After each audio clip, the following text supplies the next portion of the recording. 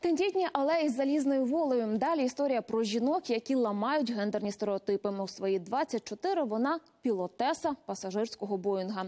І здавалося б, тримати штурвал багатотонного лайнера справа чоловіча, але Ірина Розова поспілкувалася з тими, хто руйнує традиції.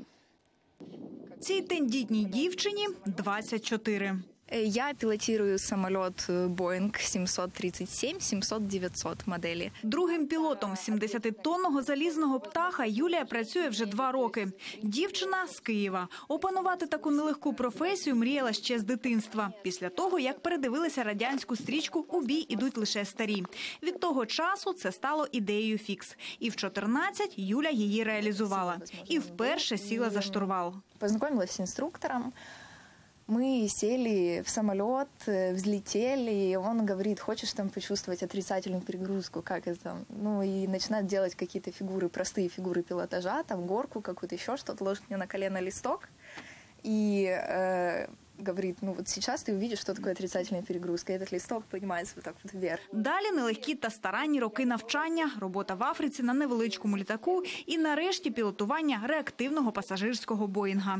Нормально, так и держи выход, больше не надо, меньше даже поставить.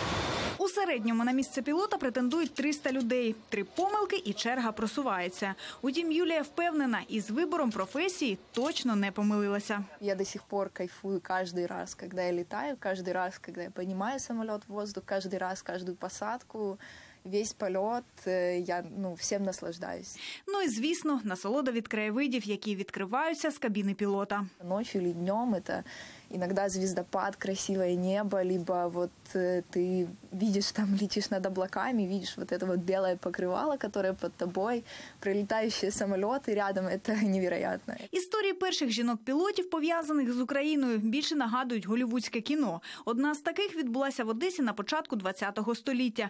Відома співачка Молі Море, вона ж Любов Голанчикова, після польоту на аероплані покинула сцену та стала пілотесою.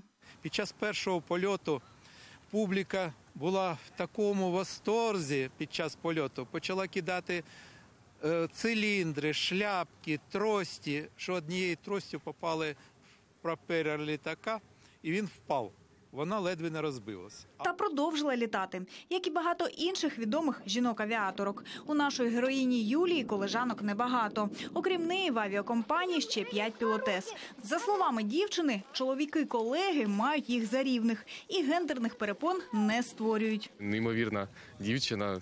Таки, знаєте, можна на неї подивитися, замотивуватися і самому творити неймовірні речі. Саме головне забув.